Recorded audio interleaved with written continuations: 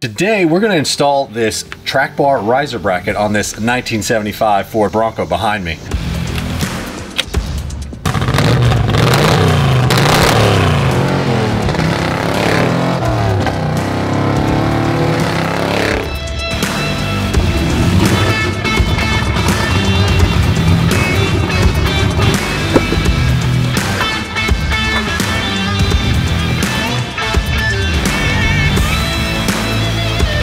All right, so we're in front of this 1975 Bronco and I'm about to measure to see if the axle is centered with the body. Now, it's really important to remember that before you do this, you want to make sure that you're at ride height and you have all the weight that you're going to have on your on your Bronco before you actually do this test. The reason for that is is that as the axle compresses, it goes towards the passenger side, up and towards the passenger side, but as it droops, it goes down and towards the driver's side. So it's really critical to have your Bronco at ride height and all the weight on it before you do this measurement. Now what we're gonna do is we're gonna measure from this, the face of the rotor to the outside of your frame. And we're gonna do this on both sides. Now there's more than one way to do this, but I like to use the rotor face versus the side of the tire. I'm gonna lay it up flat against the rotor and then I'm gonna grab my tape measure and put it up against the frame and then I'm gonna poke my head in here and take a look at how close this measurement is and then I'm gonna compare it to the other side from there I can determine just how close center I am and make my adjustments as necessary All right, so we're installing the track bar riser. And so basically right here, my track bar uh, attaches to the axle. And so what we're gonna do is we're gonna pull this off and we are going to install a plate that goes right here that just lifts this point up uh, about two inches. So here's the plate and uh, here's where the original hole is and here's where our new hole is gonna be. So it just lifts it up a little bit, gets that geometry a little bit more compressed, which reduces that normal bump steer that all of our Broncos have.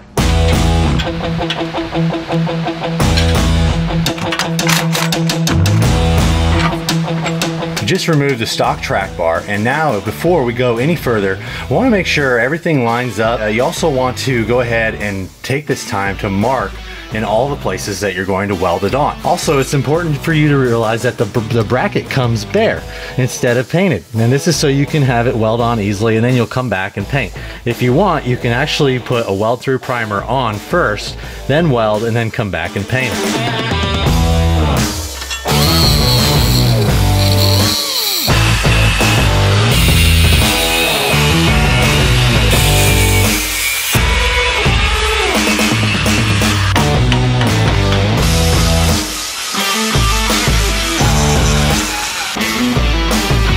So I just got done cutting the bolt off and we've just got it removed and popped out. It's really important that you cut it to about this size in order for you to be able to get it to fish through the backside of your stock uh, uh, track bar bracket on the axle. I'm gonna use some weld through primer and I'm gonna spray the axle as well as the, the riser bracket uh, that way, when I can't get to these pieces once it's welded in, it's protected and it's not going to rust.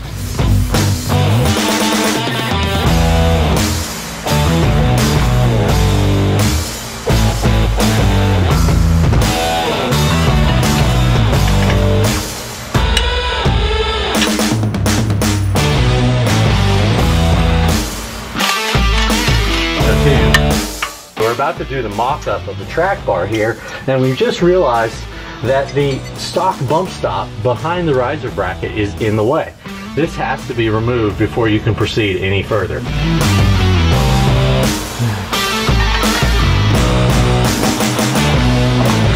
All right, so we've got the riser bracket in place, and now we've also bolted the track bar in, and we wanna make sure that it fits without any issue before we weld the riser in.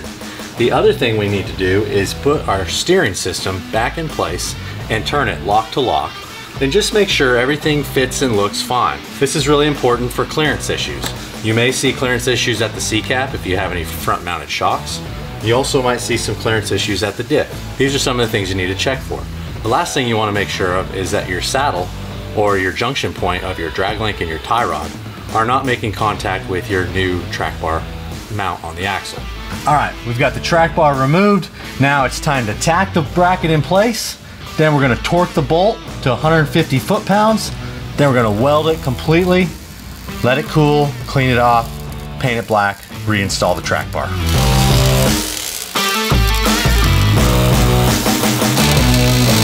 All right, so we're, we're about to finish up the install for the track bar riser bracket. And we still have to paint the riser bracket. And then before we do that, there's something I wanna make sure that you're aware of that plays into body roll and bump steer and all other types of weird driving conditions.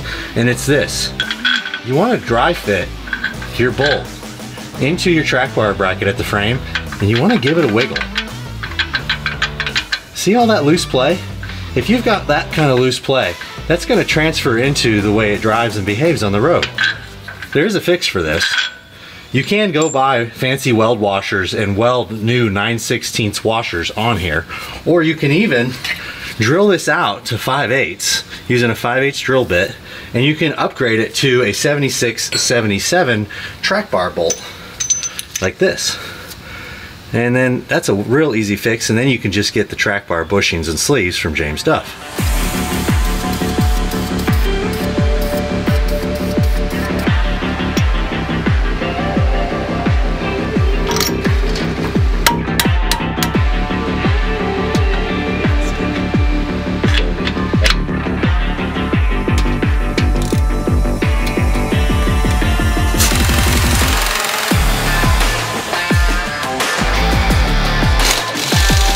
Now the other thing I want to show you is why we use the riser versus a track bar drop bracket is because track bar drop brackets put a lot of stress on the frame.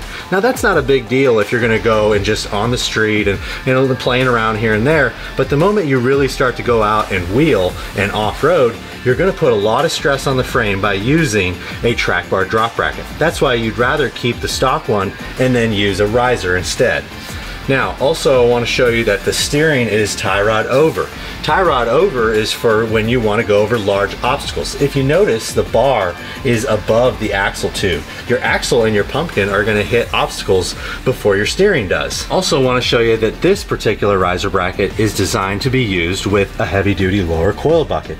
As you see, there's plenty of clearance between the two, so you don't have to make any modifications. So that wraps up our track bar riser bracket install video. One of the great benefits of this is getting your track bar and your drag link more parallel with your axle. It gets the severity of the angle reduced so you have less bump steer. You should check out our bump steer video and don't forget to subscribe. Leave a comment. I'd love to see what you guys are working on and I want to hear your feedback. We'll catch you guys next time. Thanks for joining the Bronco Garage.